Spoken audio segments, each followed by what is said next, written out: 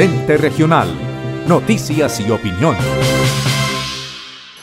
¿Qué tal? Un cordial saludo a nuestros seguidores del ente regional. El candidato a la Cámara de Representantes por el Partido Liberal, Marlon Monsalve, pues se encuentra haciendo un trabajo personalizado con el comercio de la capital del departamento del Caquetá. Él los está visitando y dándole a conocer esas propuestas. Doctor Marlon Monsalve, bienvenido al ente regional. Un trabajo personalizado que ya se está haciendo con el comercio de la ciudad.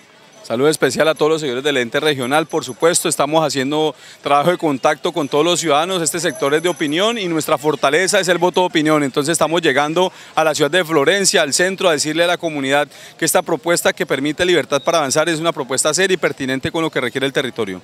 Candidato, eh, ¿qué tal ha sido esa aceptación de la gente aquí en el Parque Santander, en el comercio?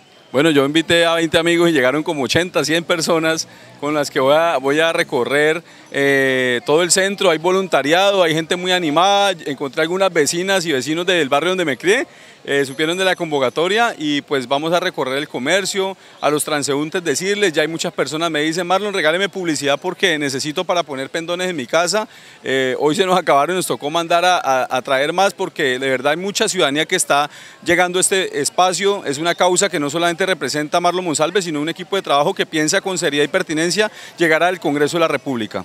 Candidato, a nivel de los municipios del Caquetá, ¿cómo le ha ido con estas correrías? Bueno, hay municipios muy fuertes, otros donde estamos ajustando. Hemos hecho una correría por tercera vez eh, con municipios como San Vicente del Caguán, Puerto Rico, Doncello, Paujil, Montañita, Cartagena, El Chairá.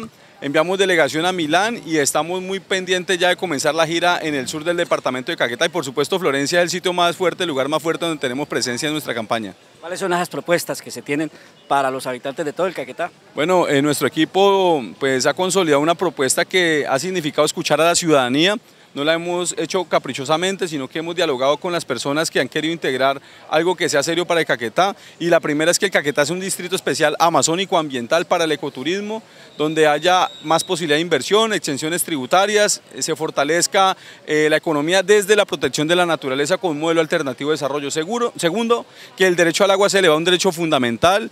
Finalmente hablamos también, por ejemplo, el SOAT eh, debe tasarse y formularse de otra manera. Y tenemos otras propuestas en materia de seguridad alimentaria y de reforma aspectos puntuales de la ley de educación y otros, otras materias que hemos tenido en cuenta según el diálogo ciudadano que hemos tenido.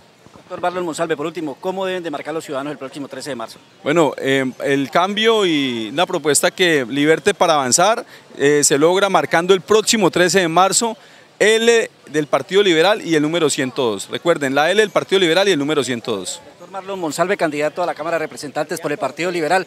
Gracias por atendernos el ente regional. Este es el trabajo que viene haciendo él con ese propósito que busca llegar al Congreso de la República. Héctor Manuel Ortiz, Lente Regional, Noticias y Opinión. Lente Regional, Noticias y Opinión.